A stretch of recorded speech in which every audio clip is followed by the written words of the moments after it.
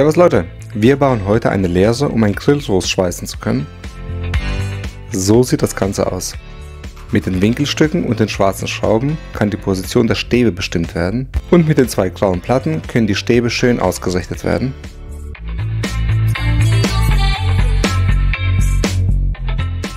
Das erste Werkzeug wird eingesetzt, natürlich in mein neues Hydro-Den-Spannfutter Hier kann man wieder sehen, wie dicht und passgenau das Ganze ist.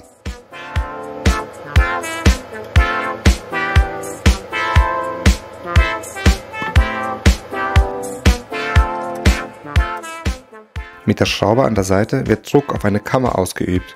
Das Fett dehnt sich auf und hält so das Werkzeug. Einfach genial gelöst.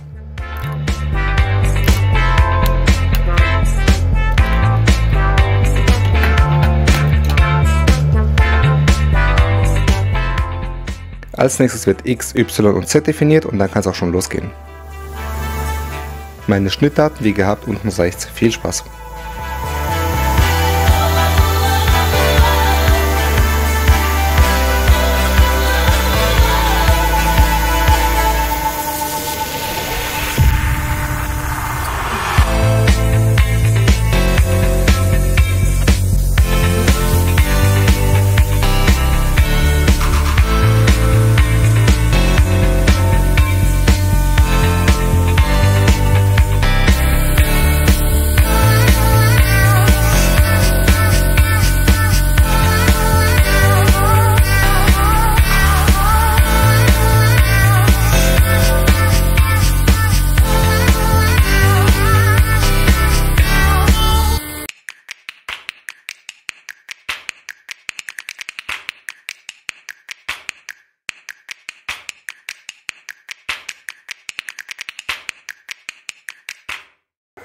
Kommen wir zu den Aluprofilen.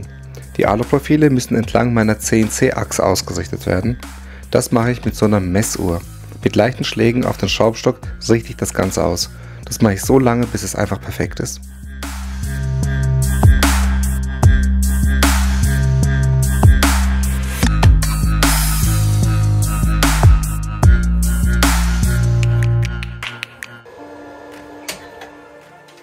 Nachdem das getan wurde, kann das erste Profil eingespannt und gefräst werden.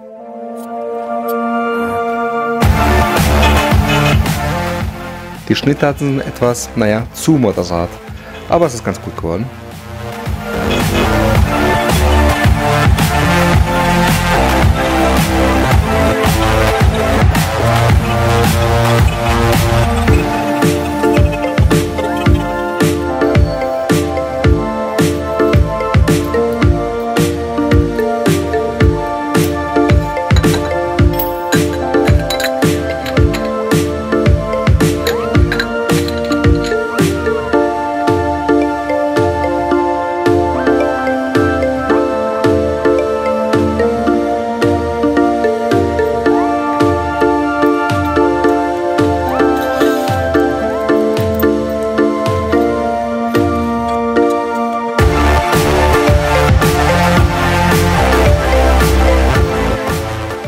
Durch den zusätzlichen Aufbau mit den Winkeln muss das Ganze wieder ausgerichtet werden. Das mache ich wieder mit der Messuhr.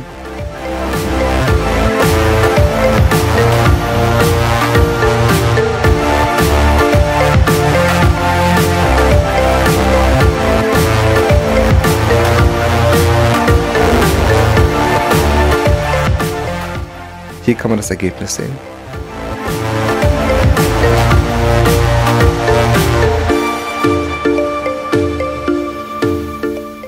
Auch hier wieder, nachdem das getan wurde, kann es losgehen.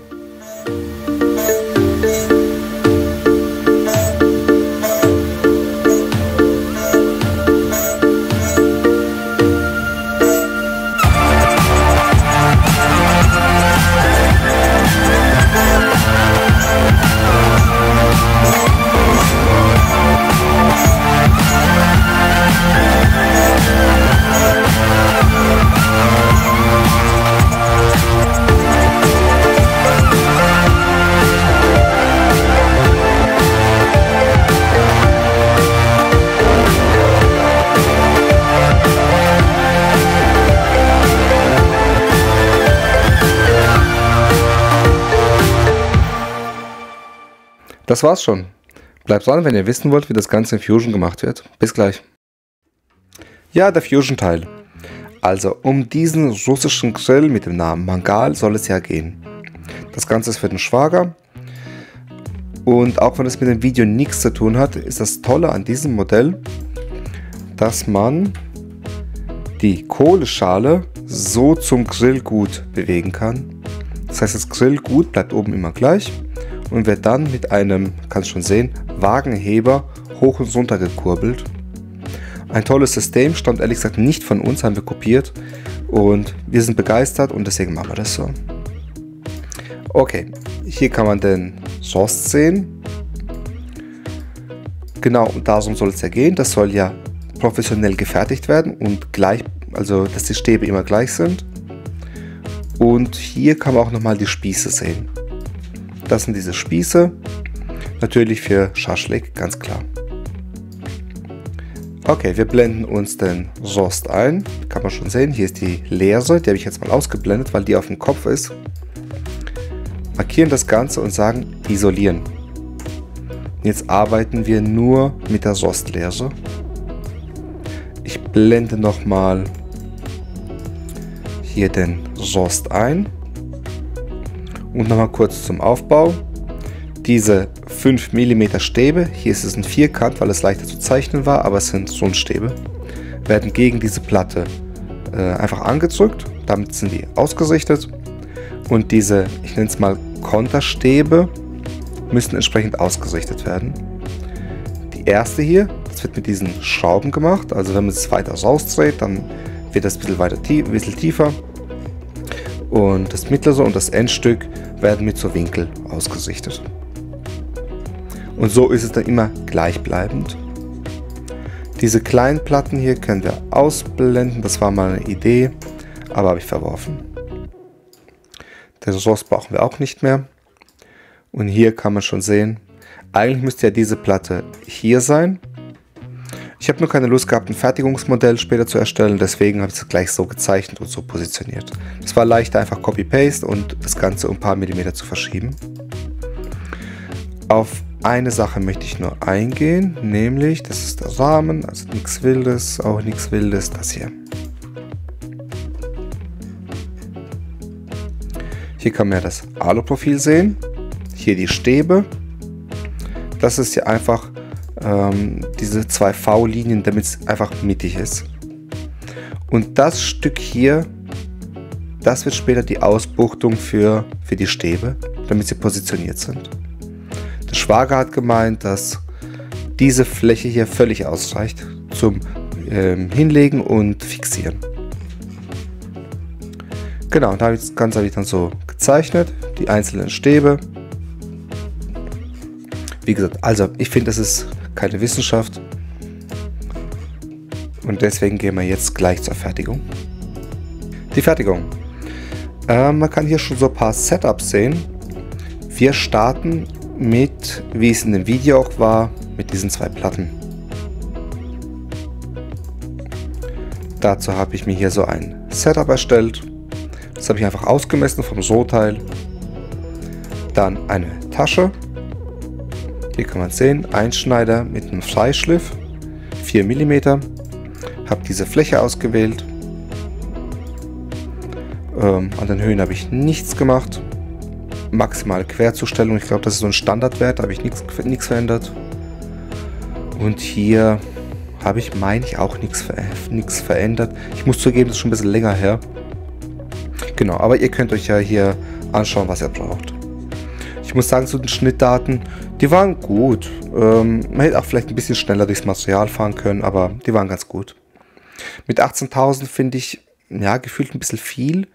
Ähm, ich meine, ich habe auch im Video ein bisschen die Drehzahl reduziert. 12.000 würde ich jetzt für so einen ABS-Kunststoff äh, eher bevorzugen. Okay, einmal oben, einmal unten. Das als Setup, weil ich oben antaste. Für die Löcher und für die Außenkontur gibt es ein neues Setup. Das kann man sehen. Der Nullpunkt ist nach unten gesprungen. Und hier passiert ein bisschen mehr. Ja, das wollte ich gar nicht. Ich habe, Moment, ich zeige es gerade mal. Also hier sind die ganzen Löcher. Das mache ich aber mit einer Kontur. Also man kann schon sehen, ich fahre hier so kreisrund. Tauche ich ein, mache unten nochmal so diesen, diesen, diese letzte Kontur, diesen letzten Kring, Kringel und damit ist auch das Loch fertig. Und eins davon schauen wir uns mal an. Selbe Werkzeug, Schnittdaten unverändert. Hier die, als Höhe habe ich das hier angegeben, wäre als Geometrie. Und als Endhöhe sage ich, bleibt mir 0,5 mm von unten, hm, steht so ein bisschen im Weg, bleibt mir von unten einfach 0,5 mm weg, damit du einfach meine Vakuumplatte nicht kaputt machst und ähm, ja, auch in diesen Raster-Vakuumtisch nicht reinfährst. Ich finde das nicht schlimm, ich habe später so einen 5 mm Browser eingespannt und Löcher einfach aufgebohrt. Das war wirklich nichts Wildes. Genau. Ähm, hier habe ich, ich glaube, nichts verändert, nur das hier. Die Sicherheitshöhe reduziere ich immer. Ich glaube, Standard ist so 2,5 mm. Dann kreist er unnötig in der Luft, finde ich blöd, deswegen reduziere ich das hier immer. Und dann sieht das so aus. Und ich finde, es sah ja auch ganz gut aus. Also, ich glaube, da will ich nichts verändern. Genau, das mache ich hier mit diesen ganzen Löchern. Die Außenkontur. Habe ich natürlich das hier als Geometrie ausgewählt dann gesagt, bleibt mir wieder 0,5 mm weg. Denn das mache ich später eh mit der Oberfräse nochmal so eine kleine Phase. Genau. Tiefenschnitte 2 mm. Ja, hätte man vielleicht auch ein bisschen mehr machen können. Genau, 18.000. Ähm, hier habe ich gesagt 0. 10 mm, also fahrt 10 mm weg, ohne irgendeinen Radius. Und das sieht dann so aus. Also er fährt weg, taucht ein und fährt wieder dran. Ich arbeite hier also nicht mit der Stirn, sondern nur mit der Seite. Äh, wer meine Videos kennt, weiß, dass ich es ganz gern so mache. Genau, einmal oben, einmal unten. Tasche, das ist ein Copy-Paste-Fehler. Das hat hier nichts zu suchen. Genau, und das war die Kontur. So sieht das Ganze dann aus. Und das waren diese Anschlagplatten. Machen wir weiter mit dem. Auf das kleine gehe ich erst gar nicht ein. Weil das, was ich beim Kleinen mache, äh, instinktiv richte ich meine Ansicht immer gleich richtig aus, wie die CNC auch sitzt oder steht. Deswegen gerade so dieser, dieser komische Schlenker. Äh, auf, das, auf das Kleine gehe ich gar nicht ein, weil das, was ich beim Kleinen mache, mache ich auch beim Großen. Da gehen wir jetzt auch gleich hin. Nämlich so. Taste das hier an. Das ist so, ich habe mit der Kreissäge das nur ungefähr auf Maß geschnitten. Ich gebe mir tatsächlich keine Mühe. Meine Kreissäge ist so ein bisschen verschlissen jetzt über die Jahre. Deswegen mache ich das einfach so, ich sage, ich schneide es einfach ungefähr und taste mich dann so langsam dran. Also hier kann man sehen, immer näher. Gucken wir uns das gerade mal an. Also 12.000 super, super Tradezahl, also finde ich gut. 900, ja, hätte man vielleicht auch ein bisschen schneller durchfahren können. Das habe ich als Kontur ausgewählt. da ich ja in der Luft kreise, ich, bin ich 0,5 mm früher, also höher habe ich angefangen und tauche 0,5 mm tiefer ein. Und so weiß ich, dass ich, also bin ich auch ganz sicher, dass ich auch wirklich alles erwische. Tiefenschnitte 1 mm völliger Quatsch. Also da hätte man wirklich mehr geben können. Rohteilaufmaß, das ist ja dieses Sandtasten. Und das scheint der vorletzte Durchgang zu sein. Und hier habe ich nichts verändert. Genau, und das ist der finale Durchgang. Wie gesagt, 1 mm Quatsch, völliger Quatsch. Da hätte man äh, 4 oder 5 mm machen können. Das gleiche auf der gegenüberliegenden Seite. Hier kann man sehen, zack, zack, da taste ich mich wieder so dran bis zum finalen, bis zum finalen Schliff. Okay, dann folgt hier diese Kontur, einmal schrubbschlicht. Gucken wir uns das gerade mal an. Als Kontur habe ich immer das hier ausgewählt. Als Geometrie wieder dasselbe. Fang früher an, hör später auf. Sag hier Tiefenschnitte 4 mm. Das ist ein super Wert mit einem Aufmaß. Also ich will das ja zweimal machen. damit die Oberfläche einfach perfekt ist. Und hier habe ich nichts verändert.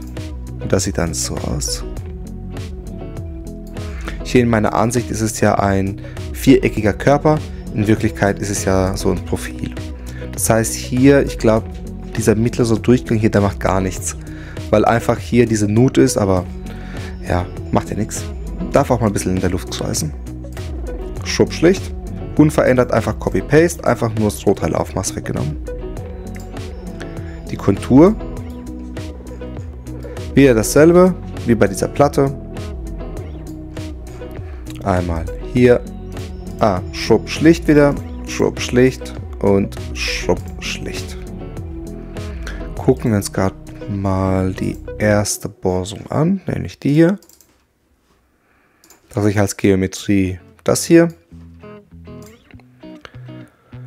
Modelloberkante bis Modelloberkante minus 20. Ich meine, ich habe das Loch auch aufgebohrt, bin mir jetzt nicht ganz sicher. Aber ja, selbst wenn er jetzt nicht bis ganz nach unten kommt, weil das Profil ist genau 20. Und wenn man die Höhe nicht richtig antastet, kann ja sein, dass da unten noch ein bisschen was übrig bleibt, aber ist ja nicht schlimm. Weil äh, einfach ein Borser kurz eingespannt und dann aufgebohrt. Äh, genau, hier habe ich nichts gemacht. Ich glaube, den, den Helixwinkel habe ich etwas vergrößert von 2 auf 5 Grad und wieder Sicherheitsabstand reduziert, damit er nicht so viel in der Luft scheißt. Ich kann es mal zeigen. Das sind hier diese 0,5 und ich meine, das sind hier diese 2,5. Da kann man sehen, dass einfach in der Luft ein bisschen gescheißt. Ja, muss nicht sein. Ähm, ja, tatsächlich war das die ganze Fertigung. Ich hoffe, es hat euch gefallen. Vielleicht baut es der ein oder andere nach.